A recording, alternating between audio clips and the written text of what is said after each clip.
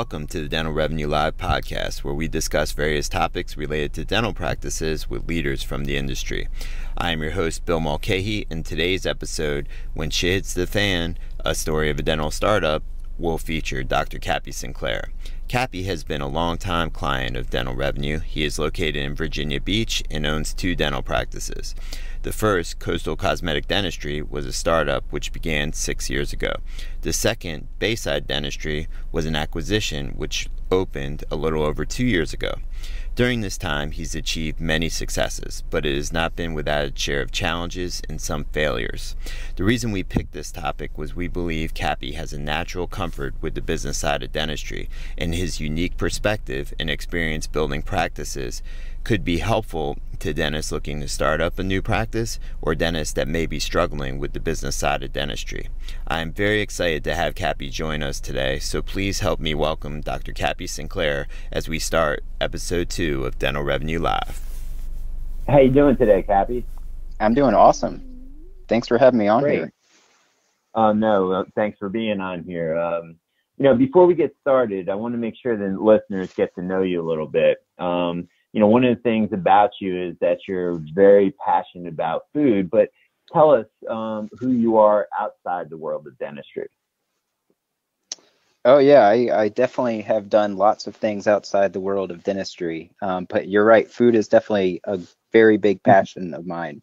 Um, eating it as well as going out to and cooking it myself. Um, so uh, I'm a dentist in Virginia Beach, um, but uh, I have a two-year-old son, or almost two, next month, and a wife that's in the dental field as well, um, and uh, sweet practice down here in Virginia Beach. Um, outside the world of dentistry, uh, I love traveling. We actually just got back from a vacation. I always try and escape the cold winters of the East Coast and head down south. so we just got back from Mexico, which was awesome um, as a you family right, trip. You, and you oh yeah, definitely. Week. It was really cold around around here, so that that yeah, that was definitely a great time.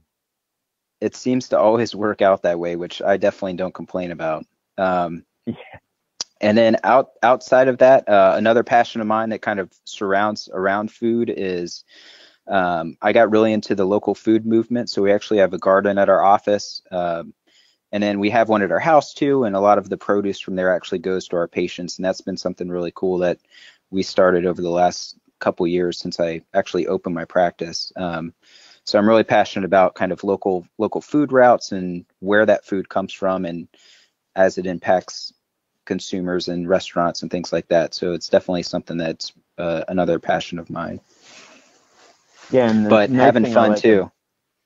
Yeah, the nice thing I like about that is it really ties into, you know, a lot of the concepts behind your dentistry and, and really into your marketing and everything. So, so I think, you know, it's, it, it's wonderful, uh, stuff that, that you have going on there. And it's, it, it's always been very interesting to me. So another thing, Cappy, that's been interesting is, is your journey to becoming a dentist. I think it's very unique. Um, can you share your story with us? Yeah, abs- absolutely. Yes, my my journey into dentistry is not the typical. Um, my dad's a dentist, or I like science type deal. Mm-hmm. Um, I actually restored art originally. That was my first career. So when I graduated college, I graduated with a degree in art history and biology. And for about three years, I worked for museums and I restored artwork. Um, two of those years were at uh, Emory, where I did my undergrad and I worked on stuff like Egyptian um, collections from a museum in Niagara, Canada, which was awesome, and a Peruvian collection of textiles and some old Greek artifacts, which were really cool to see up close and personal. Um, wow. And then later on, I worked for a museum here in Norfolk, and I got to work on um, fixing damaged paintings and a different side of uh, restoration that I wasn't exposed to in Atlanta. Um, but after doing it for three years, I realized I needed to make the next step, um, which was to get my doctorate in it if I was going to continue down that path. And I wasn't passionate about it. It wasn't something that like I woke up every day and was like, yes. Um, yeah. I got to do some cool things, but it was missing something, and I I didn't know what it was. And uh, I took a year off and basically just did fun jobs. I was a barista at Starbucks. I um, worked for a running shoe company doing sales for them. And I really tried to identify kind of where I was going to go next. And during that time, too, a friend of the family who's a dentist uh, restores antiques for his wife's business. And he talked to my parents one night at dinner and was like, How's Cappy enjoying California, where I was living at the time? And they were like, Great, but they don't know what he's going to do, do next. And so he was like, he next time he's in town, he should come check out my office and see if dentistry. My parents were like, sure, that's something else to add to his laundry list of things he wants to do. Um, yeah. And so I went to his office, and it was awesome. I loved the variety of things he was doing. I loved the approach of kind of how everything flowed. Um, he was working with his hands. Now he was a pediatric dentist, so I knew I did not do PD. That was something only uh, could dial in right off the initial um, onset from dentistry. Is like pediatrics was outside my scope of filling my bucket of something enjoyable. Um, yeah. But I, I, it got me seeing the people side of things, and that's really where I felt like I was missing out.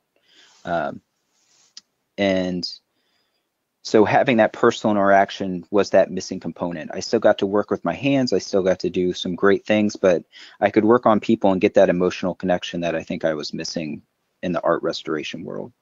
Um, and so I worked at a free clinic for a year just to make sure this was something I really wanted to do. Dentistry is a big mm-hmm. investment education wise.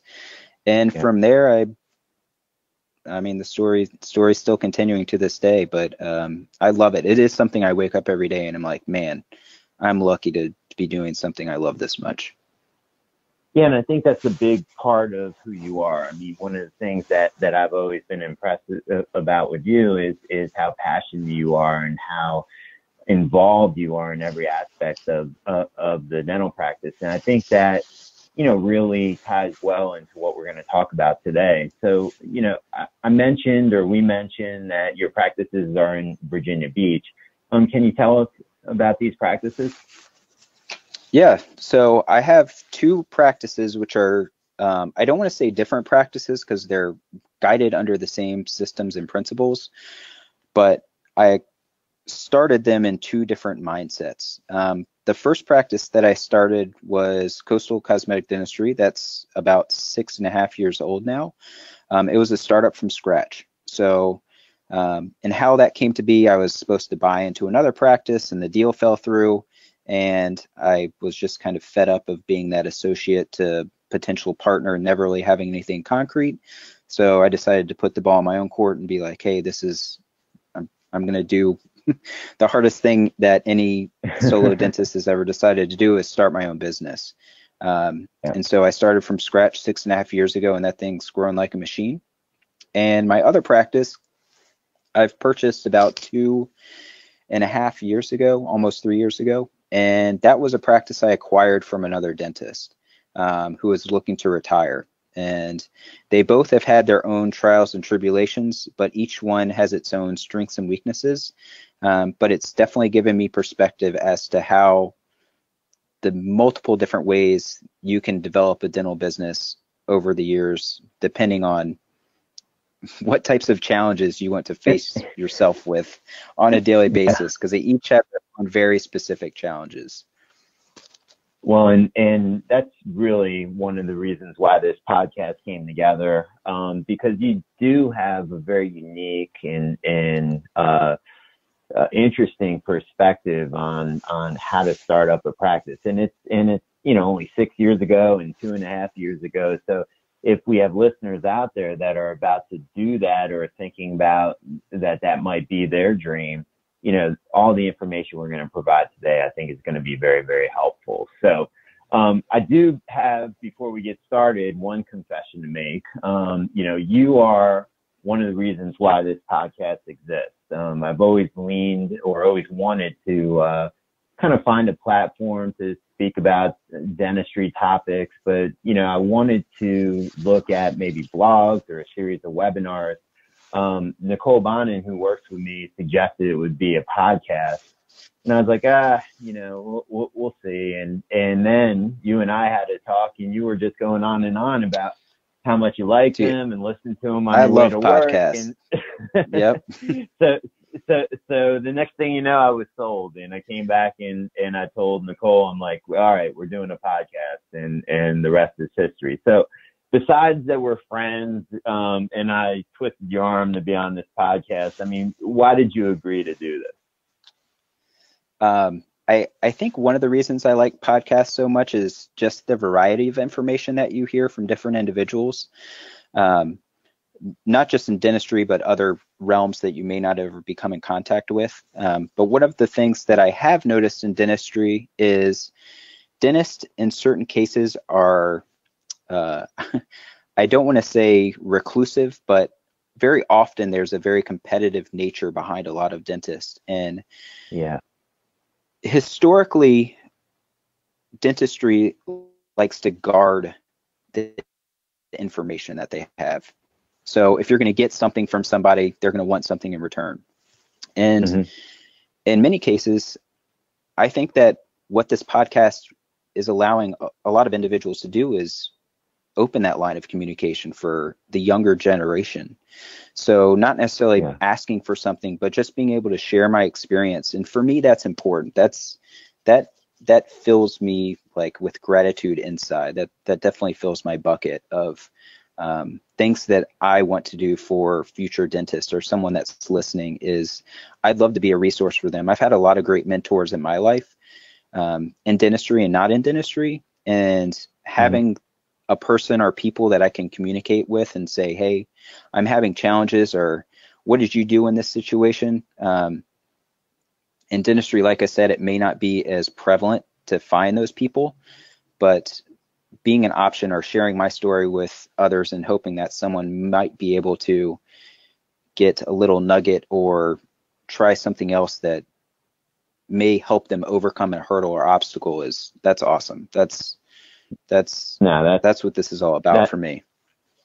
That's great. That's great. I mean, and and that's really the vision of, of Dental Revenue Live and and the overall podcast and and bringing you know great minds of dentistry together. And it's not always about the the actual dentistry. It's not always about business. It could be you know just different perspectives to bring to potential users so or potential listeners so so you know i'm really Absolutely. excited about this and and so so let's get into sort of the topic i mean you and i have had some great conversations over the years and you know one thing that we've discussed in the past has been the business side of dentistry um you know you've always said business. and shared yeah exactly I, i'm and you've always you know kind of shared with me that that dental practices as businesses um you know sometimes it's hard for dentists to look at themselves that way and even imply traditional business principles that could help them succeed. I mean what do you mean by that? And you know can you elaborate on on on that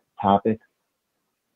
Yeah definitely. Uh i i think where that mindset comes from for me is in dental school we're taught about the technical aspect of dentistry. So we're taught about how to do procedures, how to um, look at things from a bacterial perspective, and then all of a sudden you're supposed to graduate and then run a business, which you learn nothing about.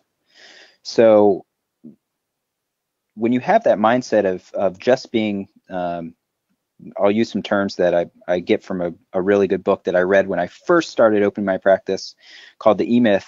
And um, yeah, in that book, it talks about being a technician, but then also wanting to be an entrepreneur. So um, I see dentistry as a technical or a technician job where you do something and you do something very well and you're trained to do it well, but there are a lot of other aspects that go into running a business, and being a technician is just one of those components. Uh, so, no, as dentists, again, no, you look at things from that technical aspect, and you're trying to figure out, all right, how do I run a marketing campaign? How am I also going to be the uh, HR representative? How am I also going to be the uh, like yeah. systems creator. I mean, you wear a lot of hats when you first start, and a lot of them you've never worn before. So yeah. as dentists, we're definitely challenged with. To, yeah, not to mention the fact that you have to be like a leader and everything else. So, yeah. So, you're not you are not taught in dental school you're you're signed up to follow directions the entire time. So it's it's a big transition and a challenging one for a lot of people uh, because as we'll talk to later not everyone has kind of that same mindset of being an entrepreneur. But i think unfortunately it's ingrained into a lot of dental students that that's the end goal where theoretically that may not be the end goal for everyone but if it is your end goal there's certain tools that you need to have in order to make it successful um, so, so let's just say I'm a dentist and I feel like um, I'm failing at the business side of dentistry, or I'm a, uh, I'm a new dentist, uh, or I'm about to buy a new practice and I'm nervous about the business side of dentistry. I mean, how can I start looking at my uh, my practice as a business, and what are some of the things I should be considering? Well, there are lots of different things you can be considering. Um, one of the things that first is going to make you successful is figuring out kind of are you measuring something so mm-hmm. uh, as you know through our conversations i'm big on metrics and i'm big on measuring things so having something to measure is a paramount to even figuring out am i successful or am i not um, yeah i imagine you through working through your clients is and as myself as a solo practicer solo practicing dentist when i first started you never know where you stand against anyone. Mm-hmm. So having some metrics of like industry standards and knowing what those are and then being able to measure yourself against those month after month or day after day can at least give you some perspective. Because I think yeah. most dentists are probably a little bit harder on themselves than they would like to admit and are like, oh, I'm doing terribly. But then you can look at the numbers and be like, yeah. oh, I'm actually doing pretty great. Um, yeah. So having that perspective, I think, is is very helpful. Um, there's a lot of stuff that goes into that. The other kind of key thing is um, it sounds hokey, but figuring out why you're why are you doing dentistry, your your purpose, um, kind of what is uh, Simon Sinek talks about that the why, like what is it that drives you to do what you do every day, um, and alongside of those, kind of what's your mission, uh, what who are the people that you want to be seeing as patients and where is your vision into where your practice is going to be in five years, 10 years, 15 years? Um, it will again kind of give you something to use those metrics for. It gives you something to calibrate. Uh, yeah. So you can have measurements from month to month, again, from year to year, and you can see that slow accumulation of growth become exponential over time, which I think is pretty cool. Yeah, definitely. No, and, and you know, so let's assume now that that we have people's attention and and um, you know it, as the practice owner, you know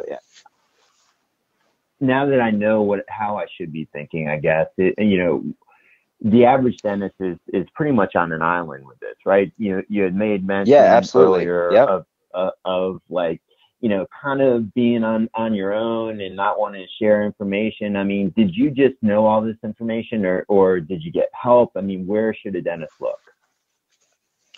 Uh, a lot of this I got from, as I mentioned earlier, I love books, so I read a lot of business books.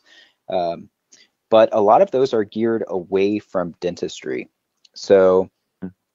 the interesting thing about that is when you start to look at dentistry from outside of that perspective, it can really create different concepts for you that, again, you may not have been taught in dental school. Um, so, as I mentioned earlier, the concept of kind of the mission, vision, and, and purpose, um, that was something that I had never thought of when I first opened my practice. Um, and it was the through the use of some consultants that had helped me out kind of identify that to really mm-hmm. give my business some traction and figure out where am I going. It it gave me a direction. Um, I know most dentists out there don't like doing treatment without a treatment plan. So it gives you a treatment plan or a place where you can move forward and, and diagnose some of the challenges that you're facing and create solutions to overcome them. Um, but that's not in a dental textbook. and yeah, it's not yeah. most of the time in, in dental consultants either. So sometimes you do have to look outside of the dental world. Um, an example of that is our new patient experience. A lot of the questions that I've developed for our new patient experience actually came from an executive sales training program. Um, and I know a lot of people out there are like dentistry and sales, yeah. that's two different words, it's not the same. Um, and it yeah. was challenging for me to think about that concept for a while. And it really pushed my beliefs of like, I don't want to be the salesperson. I don't want to be um, pushy and and just there are a lot of negative connotations with that. But when I started to yeah, look, yeah, look at what you're solving for people of more self confidence, um, an emotional change, more time with their family. Um, there are all sorts of challenges people are, are having, and the challenges behind them are their teeth or their smile or their mouth or something along those lines. And being able to solve that for people is amazing. But most of the time, as a dentist, you never ask the questions that get those emotional responses from patients. It's just not ingrained in what we do. So thinking outside the box a little bit has really helped me um, hone in on some of those things. And again, a lot of that's outside of dentistry, which is pretty cool.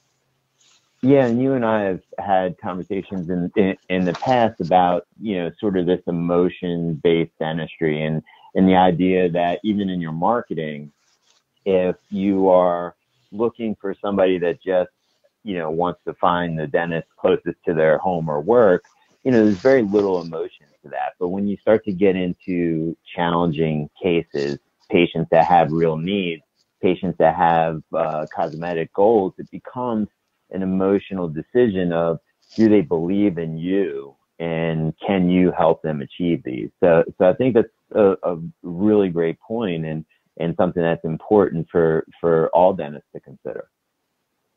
Yeah, abs- I mean, absolutely. Perfect. So, so to me, one of the key elements to your success over the years is really the the people that you have around you. And, and one of the things that I think you do extremely effectively is is build a team.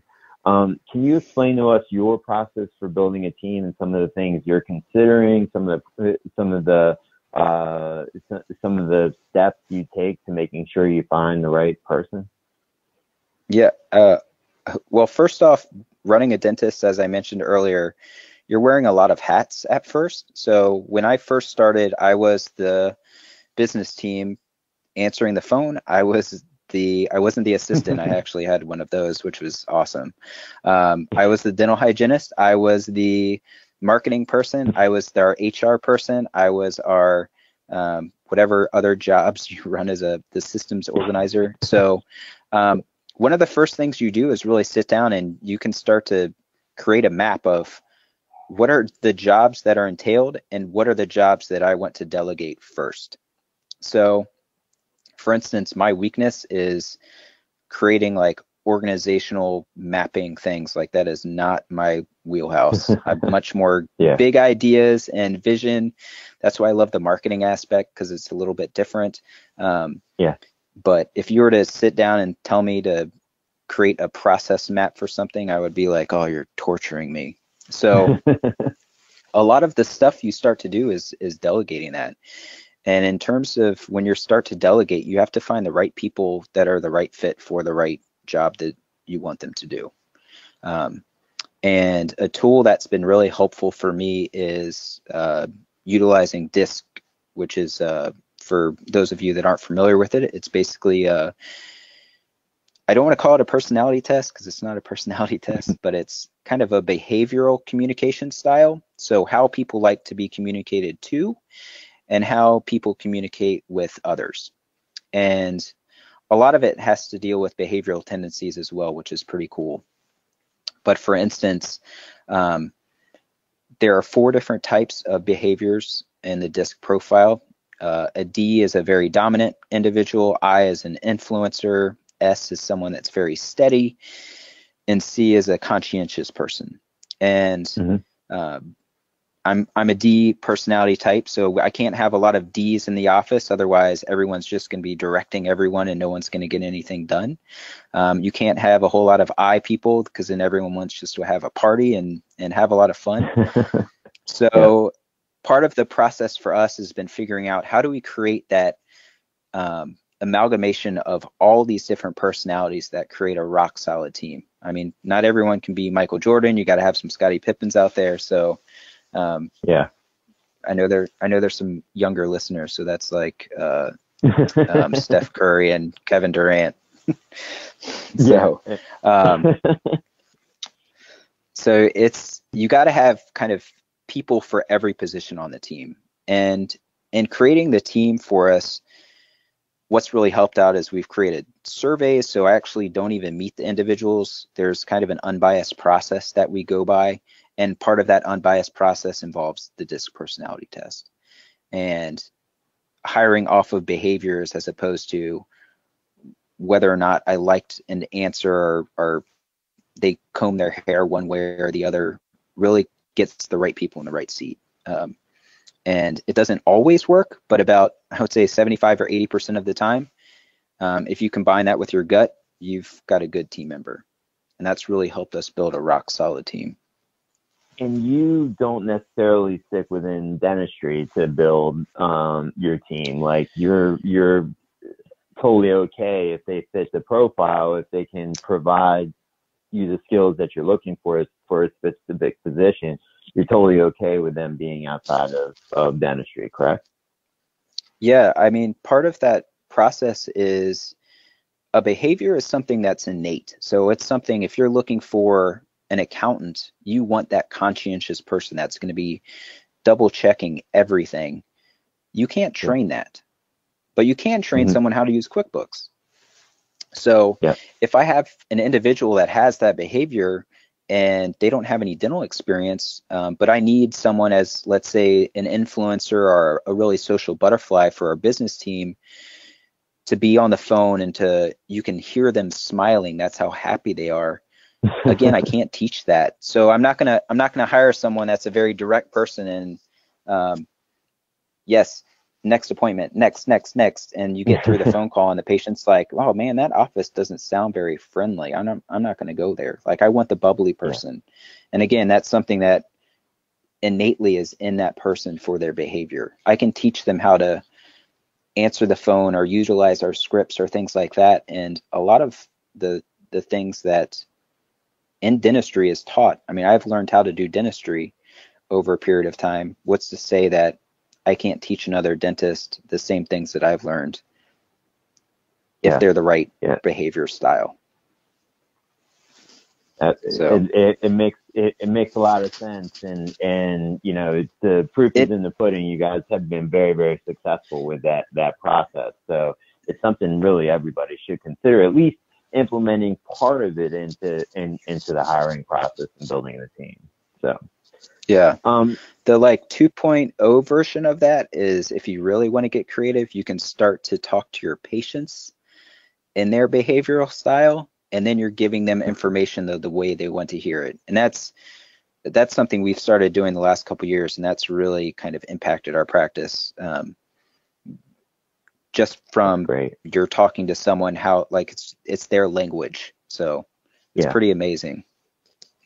No, that's great. That that's great. So so now we're sort of building um, w- with these questions, and we're getting an idea of who you, who you are and kind of the practices you're running and kind of your philosophy and business um, tactics. I mean, but everything comes down to the patient. So how am I going to get patients now that I've got all these business elements in place?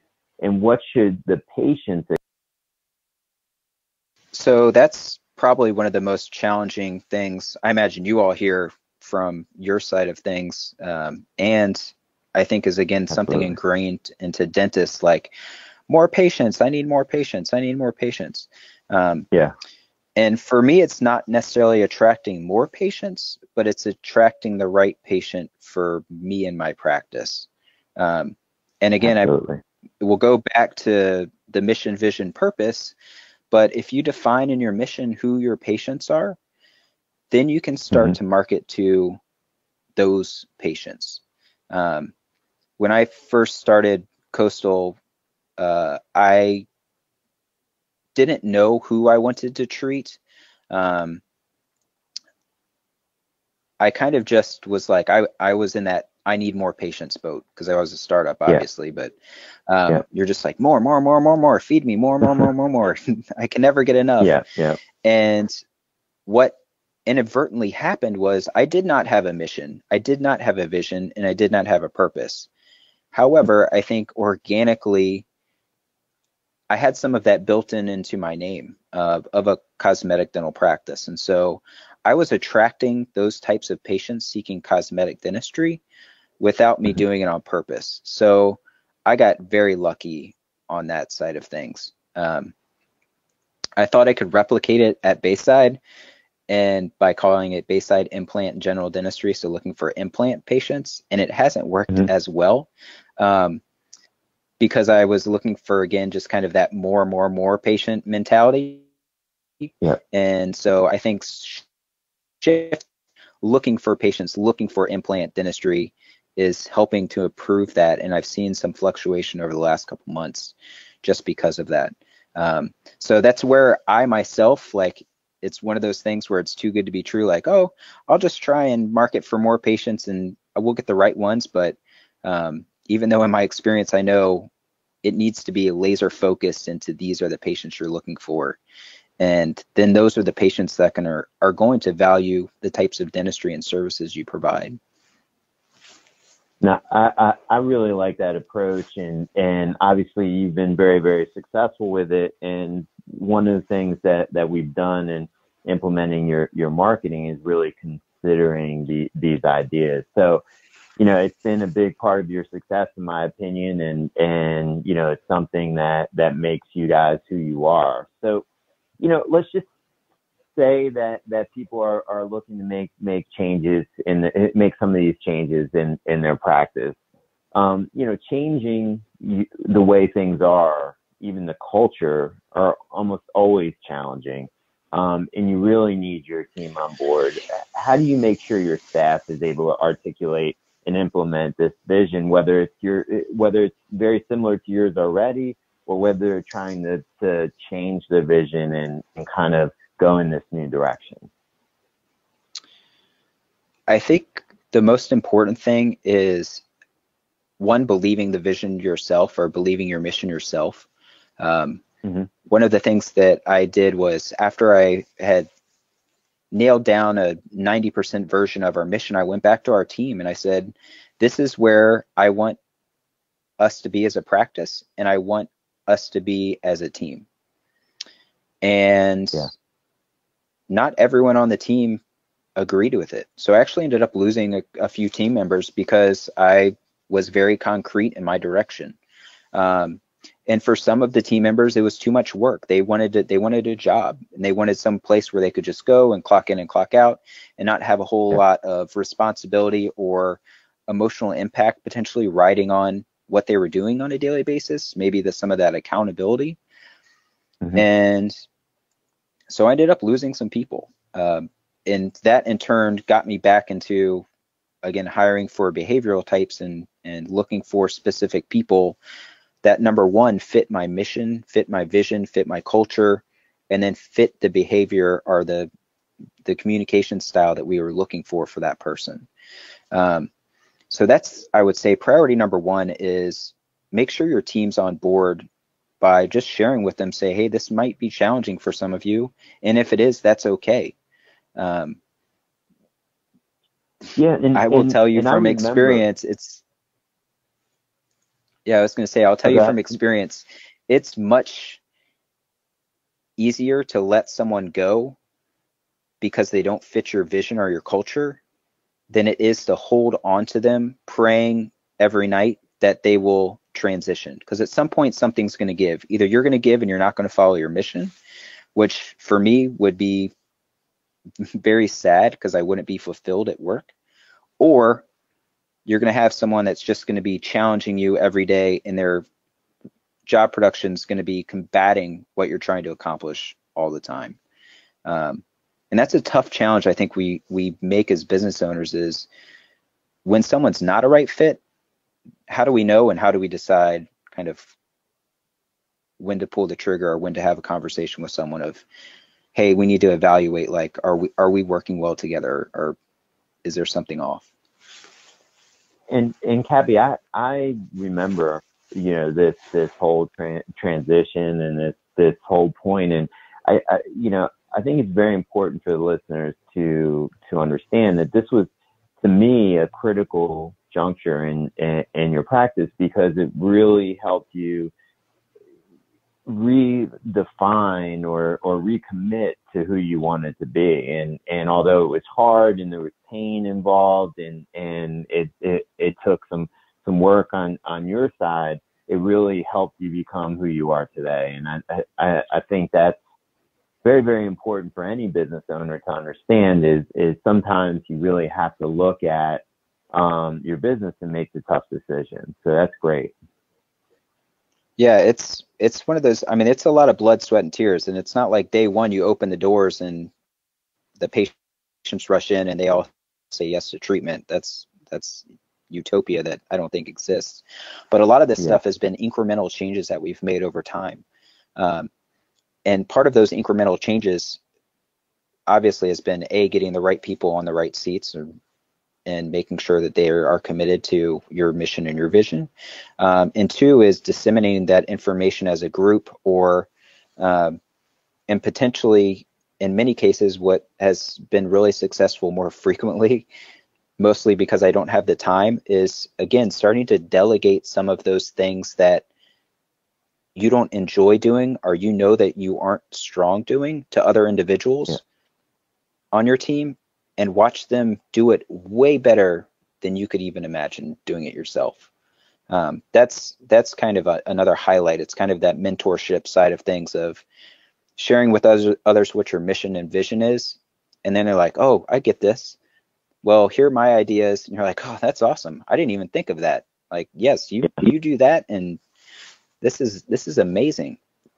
Um, and part of that kind of sharing of information has come across in a lot of our meetings that we we host. And I'm I'm not a big fan of meetings just to have a sake for meeting's sake. Um, we do a lot of meetings in our office though. We do a monthly meeting where we that's about three and a half hours long, where we go over our metrics. Again, I'm big on measuring things, so knowing where everyone stands, and on top of that, kind of what challenges we're facing for the quarter. So figuring out kind of what obstacles need immediate attention, and from there, um, really drilling down if someone's having a challenge on overcoming whatever their obstacle is or rock is for that quarter, then helping them out or seeing if they can have other tools and having that open communication with people of again knowing that everyone comes to work not wanting to destroy your business or no one comes to work being like mm-hmm. oh man i can't wait to ruin coastal cosmetic dentistry's business today everyone comes to work wanting to, wanting to do, do a good job, I believe. So yeah. giving everyone the tools that are helpful for them, uh, I think is is something paramount. Every business owner should hopefully provide to their team members, and sometimes yeah, and, we don't. So yeah, and uh, I mean, one of the things that like is just keeps striking me in every sort of thing that you're saying here, and we made mention I mentioned it earlier in the call in in context to you know, not being trained to do this, but what you're describing is true leadership. You know, the ability to, to delegate, the ability to, to let somebody run with a, a task and not micromanage it and, and the fact that you are, are comfortable with, wow, you know, you even did it better than I thought you, it, it oh. would, it could be done. I mean, that is what makes, you know, any business thrive. And, and that's you know, a really, really good aspect of what you said because it is true leadership. But that's not, yeah, that's not an innate thing for me. I, like I said, like for a lot of dentists, you go out there and you're like, I'm the technician. I need to make sure that the standard is met at every stage. And that's been really challenging for me to let go of some of these things. I mean, I started yeah. this as a ba- like as a baby business and you've watched it grow and transition and when you're getting to the point of bringing on other dentists and other locations, you can't be there for everyone. So again, having a team that I'm not beating a dead horse because it's so important um, of adopting your mission and your vision and where you want to go as a business is so critical. Uh, because if you have people that believe in what your business is providing for people, then they want to be a part of that and they will do whatever it takes to help move the needle and drive things forward. Um, and if you don't give that freedom to other people, you become the bottleneck and you kind of are the limiting step. And that took a, a lot of internal conflict with myself of being like, it's okay. There are other people out there that can do this just as well, if not better than I can. No, that's that that's that's extremely powerful, and and you know I think it's it, it's it's really great advice and insight. So, you know, our listeners right now are probably saying to themselves, wow, this guy, you know, from a business standpoint really has his stuff together. And, and, you know, if they clicked on this podcast, they, they saw, uh, that it's named when shit hits the fan. So, so let's go there, um, be, before we sort of conclude things. Um, tell us about the second practice. Tell some, tell us about some of the difficulties you've had implementing what's worked at Coastal at Bayside. Just some of the bigger challenges? I mean, you mentioned the the staff changes, but what are some other things that if you had to do over again, you would do them differently? So I I think I've alluded to some of the things already, but when I f- first had Coastal, I had exponential growth year over year over year of 25, 35, 55%. I mean, it was crazy how fast we grew, how in such a short time period. And I was like, oh, I, this is easy. Like every dentist with a crazy thought, like oh, I can replicate this, no problem. I'll just create another practice. and yeah. instead of being twice as many headaches, uh, I had like eight times as many headaches. so w- everything from uh, they operate under two different brands. They have different provider numbers, just things that you don't think about. Um, and I think that unfortunately is my personality's downfall is sometimes I don't think and I'll just commit to doing something and we'll handle the yeah. repercussions afterwards. So um, as I alluded to earlier, one of the challenges that we had was it was another dentist practice. So I was like, great, well, we're going to come in and implement our systems that are successful and it will run like a top. that was the furthest from the truth. So we I went in there, shared with everyone my mission, and I lost everyone. I had no team members. Oh no. So fortunately, we were training some team members at our other practice to be kind of go-betweens and liaisons. And so we yeah. were ended up pulling people from coastal to Bayside and really helping that transition. But from a patient's perspective, um, all they saw was there was no one that was the same and the dentist was gone. Yeah. And so that was challenging for me of how do we gain these patients' trust in a very short time period. Um, and I thought that would be through a comprehensive appointment, which for some of these patients it wasn't. They were kind of they see you as the new dentist. You're just looking to make lots of money. Um, yeah. So you're going to do a two-hour visit on me and tell me things that I already know or think I know. Um, mm-hmm. And so a lot of that goes back to those were the patients that were in the practice. They were patients that maybe had just come to the dentist because that's what they were told and didn't have a lot of value on the dentistry that I could provide to them. Yeah. Um, so that's that was a really hard. Tra- it's not like you turnkey operation of we can get this thing up and running really quickly and yeah. be a profitable machine. Uh, so that that was hard as getting the patients to value what we could do with them. And we updated technology and we updated the aesthetics of the practice, just painted the walls, put pulled up the carpet in the operatories, which I don't understand why you have carpet in operatories, but um, it just seems like a cleaning nightmare. So we put down some tile and hardwood floors and our vinyl plank and just basically updated the aesthetics of the practice, which was like in the 80s, which yeah. a new practice center, you've seen those, and yeah, getting getting that value from the patients and building that trust has taken a while. And I would say we're to the point now where we're starting to gain some of those patients' trust. But I will tell you that when I purchased the practice, we probably had about 800 active patients, according to the the numbers. And I would say yeah. right now we're at about 700 active patients.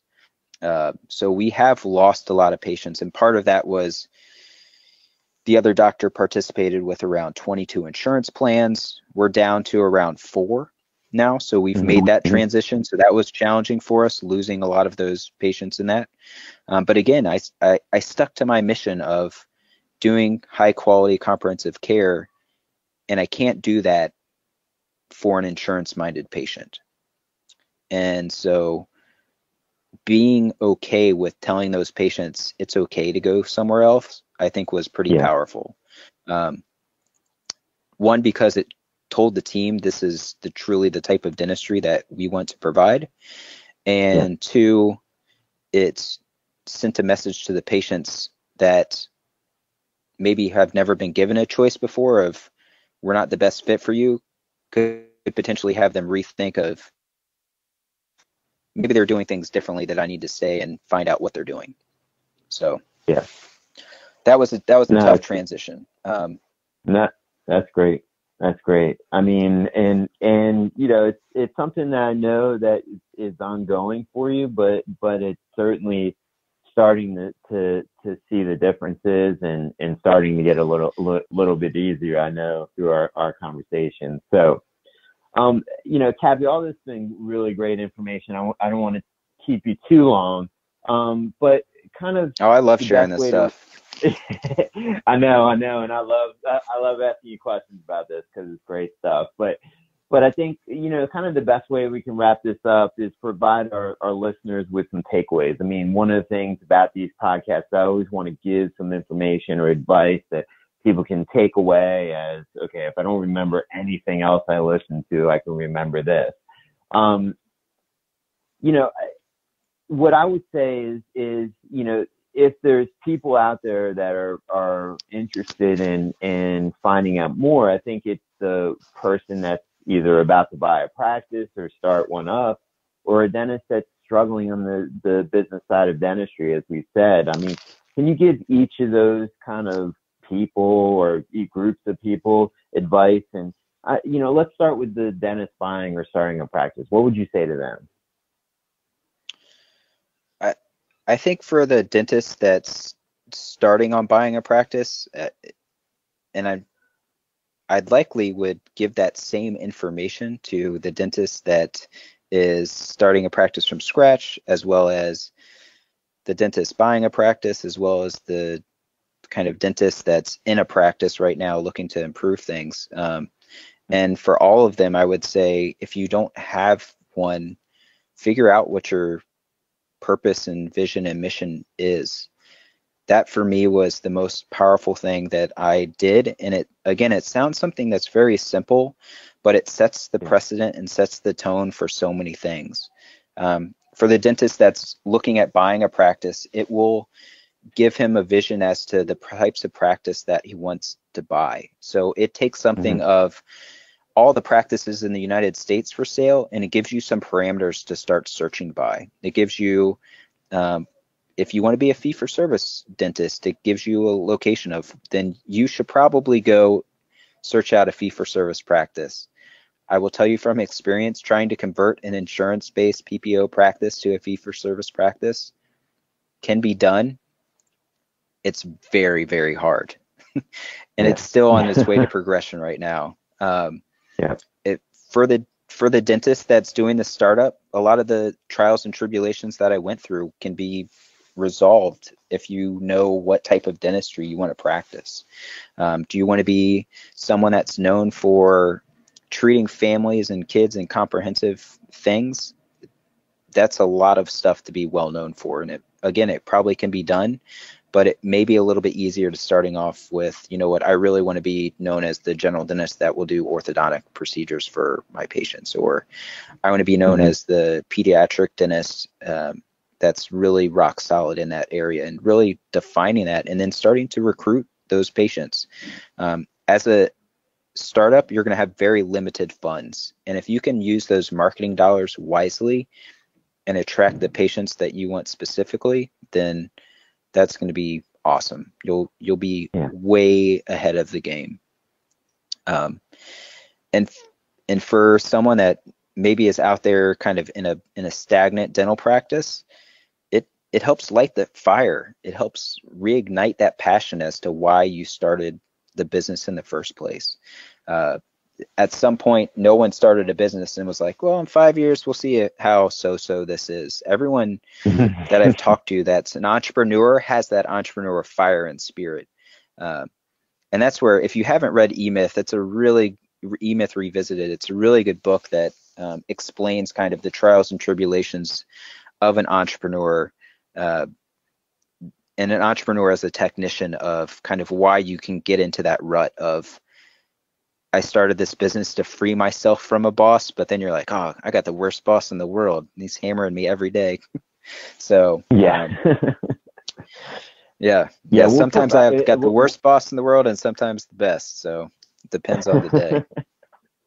yeah, we'll provide the link to that to to that book. We'll we'll find we'll find it on Amazon so people can get a copy of it or or grab it online. But but I think you know yeah taking that away is is going to be extremely vital. So, um, anything else you want to kind of tell our, our listeners before we kind of wrap this up?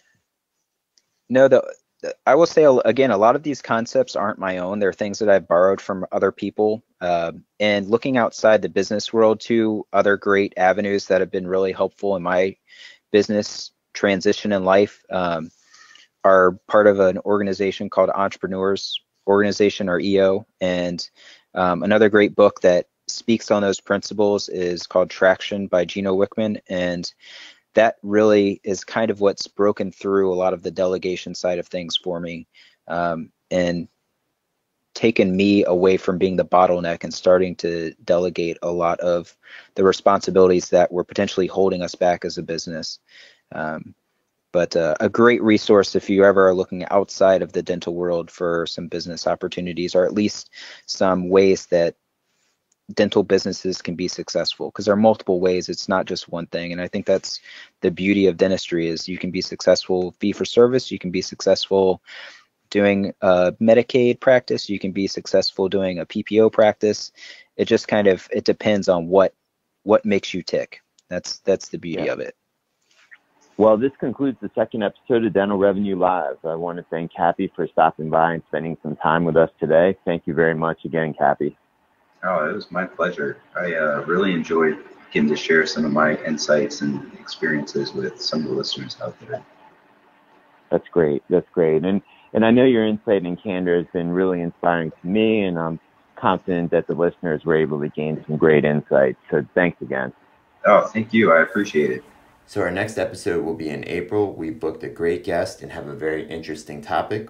Dr. Zach Sisler, who's a dentist in Shippensburg, PA, and an associate faculty member at the Dawson Academy, will be here to discuss best practices for a do it yourself smile gallery. Zach's website has one of the most engaging smile galleries that I've seen, and best of all, he takes all the pictures himself. If you're one of those dentists who struggle to take photos, this episode's for you. We are calling this next session No Photographer, No Problem Simple Steps to a Great Smile Gallery. So, thank you again for joining us today, and I look forward to connecting with you guys again soon. As always, we wish you the best of success with your practice, and may this year be your best year.